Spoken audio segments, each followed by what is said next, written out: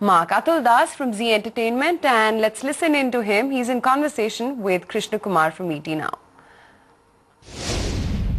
We report uh, other income below the EBITDA. So our growth in EBITDA, which is 42.7% over uh, second quarter last year, has obviously not been uh, because of the other income.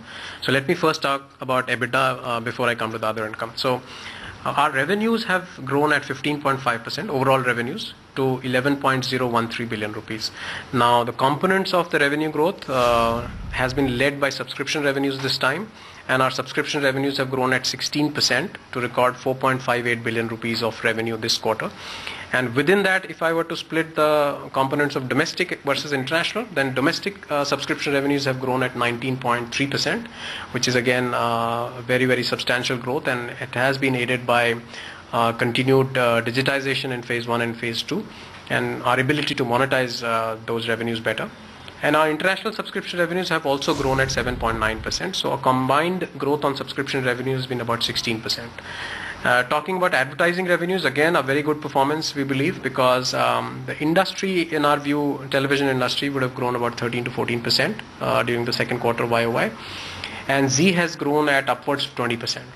The numbers that we have recorded 10.5% growth do not take into the fact that this year in the second quarter we had uh, not many significant sports properties which was there in the last year second quarter and therefore those numbers are not uh, really strictly comparable. So if I were to look at X sports then our growth uh, YOY in second quarter has been about 20% which is again significantly ahead of the industry numbers and um, we believe that um, that's been led also by incremental market share gains that we have seen in several of our channels during the year compared to last year.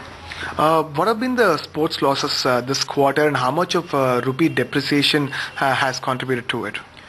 Uh, this quarter we have ended up with 191 million rupees of uh, sports losses, which is small because obviously we didn't have many sports properties. but next quarter and, and the balance part of this year of FY14, we do have significant sports properties coming up, and therefore the losses in the second half are expected to be higher.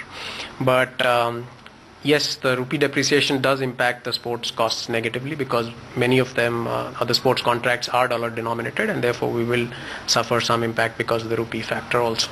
Uh, and what about rupee impacting a company positively in terms of uh, overseas uh, subscription revenues? And how much of an impact has it has it has, uh, has the rupee uh, uh, you know change in the value of rupee impacted your overseas subscription? And what's the outlook on that going forward? See, currently we have a natural hedge in terms of our revenues and cost as far as dollar denominated costs are concerned, and Therefore, while on one hand uh, the costs on the sports properties do go up because of dollar uh, and rupee fluctuation, but we also gained, as you rightly pointed out, revenues in terms of our international revenues. So